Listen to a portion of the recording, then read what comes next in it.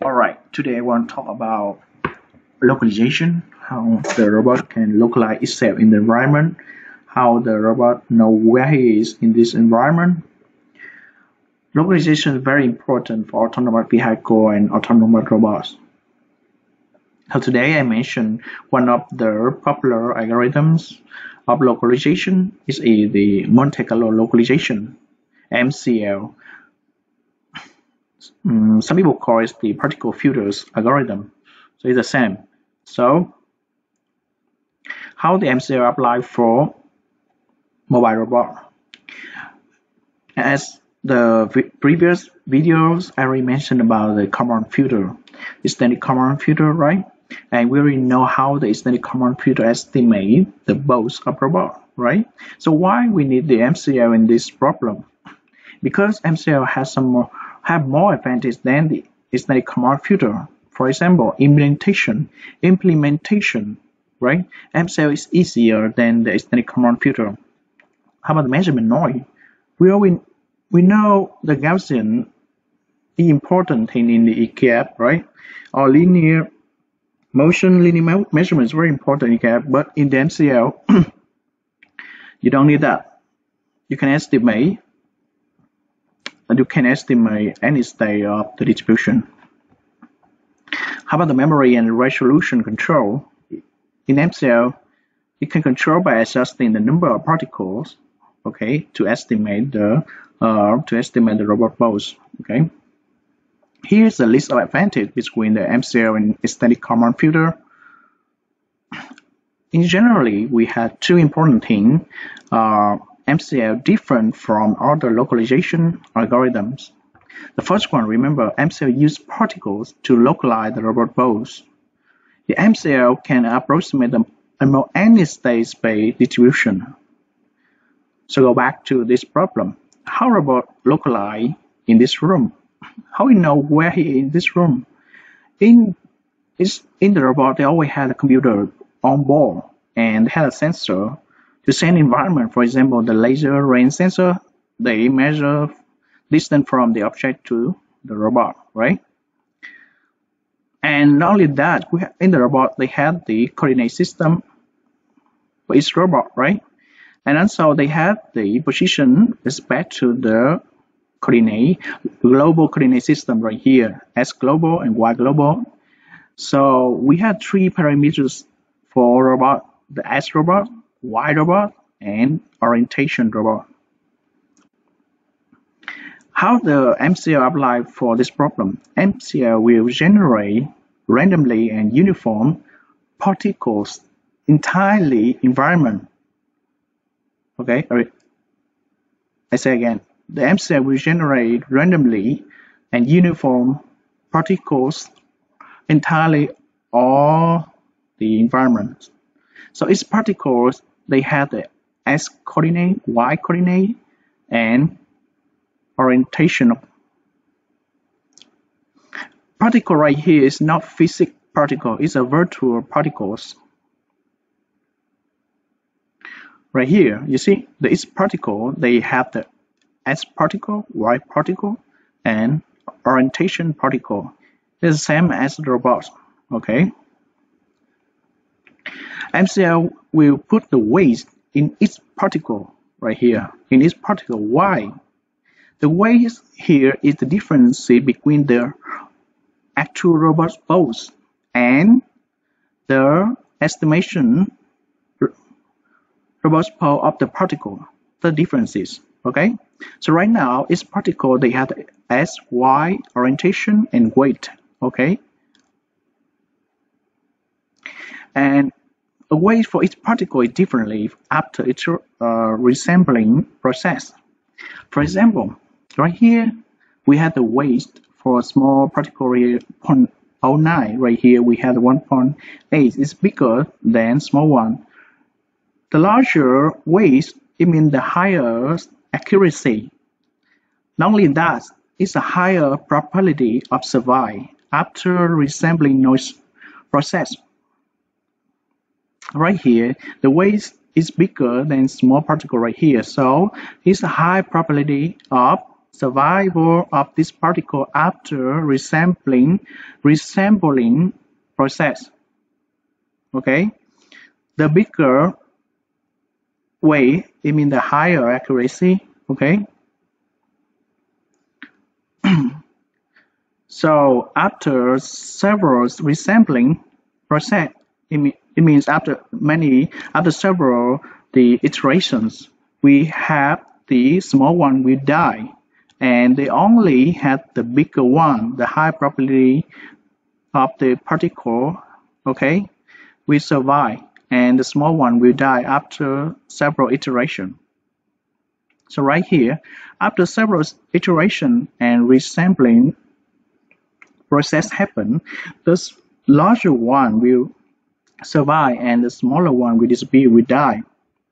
And uh, right here is, is the higher the high accuracy of the estimate of the both robots will converge and they have to localize the position of robots. Okay, remember the first time we generate a lot of the particles with different weights uh, right here we generate a lot the particles with sy and particle right here. So and we add the weights into each particle okay? And after several iterations resemble process happen and this the particle has a small weight it means small probability of survival will die. Only the particle has a higher weight and higher probability will survive right here after several uh, iterations and they show us help us to localize the robot all these particles will converge, okay, and they localize the position of robot right here. Okay, that's the MCL. MCL have so the about the map right here, the MCL use the Bayes uh, probability. The Bayes filtering is estimated probability density of a state space condition on the measurement, right? You remember? I, I hope you remember this one. Okay, uh, probability of the both robot if we know the measurement right here.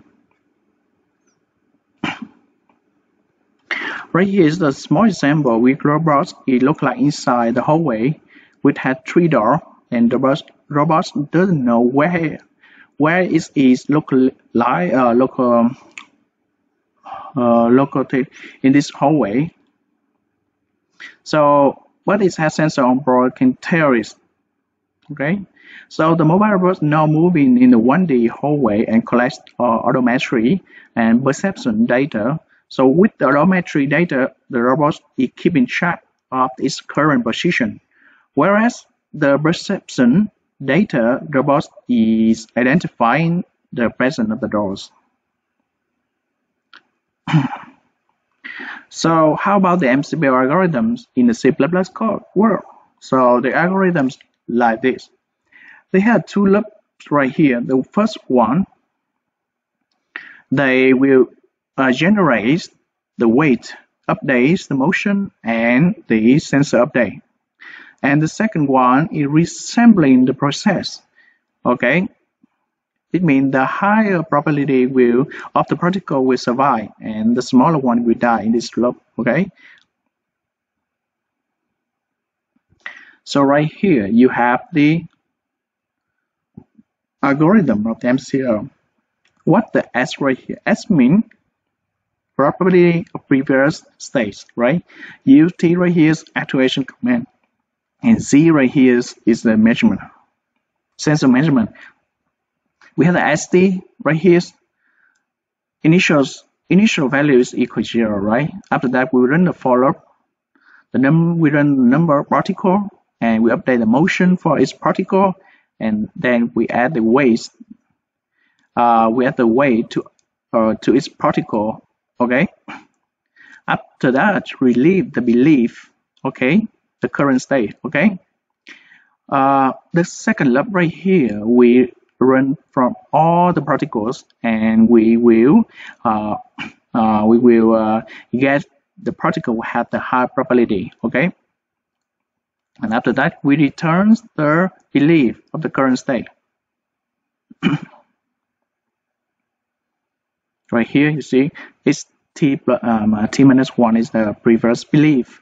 And ut actuation command and yet zt means sensor measurements. This one is the process uh, sampling process okay? Remember they had to look the first one they try generating the uh, particle they calculate the um, motion update and the sensor update right here and they will add uh, into the belief right? And after that they resampling the particles and they get the higher property of the particle and right another one will be die right? And this uh, process will repeat again and again okay so generally we have the first step uh, belief, the second step motion update third step measurement update and fourth step resampling and for last step is uh, uh, return a new belief okay? If for example we have the robot right here they move along the hallway right here up and down. At the time t equal 1 we generate the number of particles randomly and uniform right at the time t equal 2 okay? When they send the, the door okay? When it sends the doors so the particle right here is different. Uh, the number particle is constant but right here the adjusting the um, the waste okay? The adjusting the weight differently right? Um, at time equal 3 we have the the number of the particle right here is shift to the right. And time equal 4 we have when they send the door the the waste right here is different. Time equal 5 what happened? They go down to the hall and they can also uh, shift the number particle on the right. And they try to send the door and generate a new way okay after uh, process. So in the C++ code we have do is this example for example we have the map right here 100 meter and 100 meters. We have the eight landmarks right here and robots right here can turn left turn right go straight okay? Then so have a sensor to measure distance from robot to eight landmarks okay how we apply the particle filters algorithm right here to know where robots look like in this map. That's problem we continue for next uh, video in C++ code. So summarize the problem we in the ACL algorithm we have the motion and sensing, right? We have the noise, we have the particle filters, we had the important weight, we had a resampling process, and we calculate the errors.